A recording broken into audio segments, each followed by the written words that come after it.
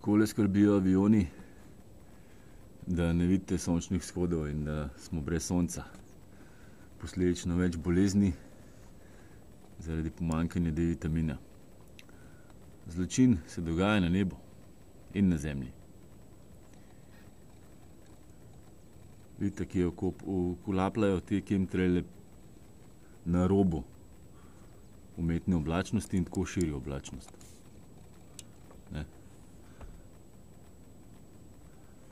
Tudi za tegale vidite, da se je tulele priklopil. Tule je še jasen.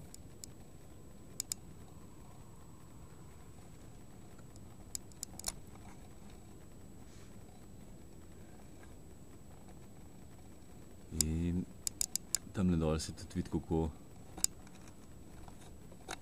špricajo na robu. Vklopijo in širijo, skozi malo širijo. Dan in noč. Že desetletje.